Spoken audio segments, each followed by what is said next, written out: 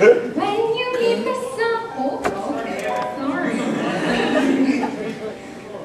when you meet the someone who was meant for you, before two can become one, there's something you must do.